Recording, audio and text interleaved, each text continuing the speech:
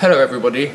I'm going to play a short piece by Camille Saint-Saëns, uh, his famous and slightly eccentric fantasy in E-flat.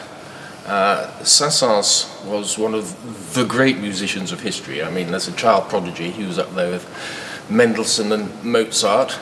Uh, and he had a most wonderful career and uh, so creative, you know, symphonies, concertos, Carnival of the Animals, Danse Macabre, you name it, he wrote it.